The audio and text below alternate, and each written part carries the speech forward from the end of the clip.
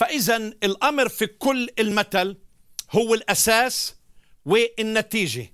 إذا كان الأساس سليم إذا كان الأساس صحيح النتيجة رح تكون مشرفة سليمة مثمرة آه، بركة وفعلا يعني بيكون آه، شخص غير خايف لا بفصل الشتاء ولا بفصل الصيف فصل الغبرة ولا في أي فصل فصل من فصول السنة.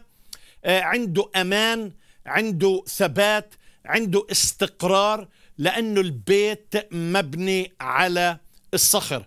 وإذا هذا البيت بناه الرب آه، فعلا رح يثبت ورح يصمت أمام كل التيارات كل العواصف كل الهيجان كل الاضطهادات. كل المشاكل كل التجارب يكون راسخ غير متزعزع لأنه متمسك في الأساس متمسك في الرب يسوع المسيح له كل المجد.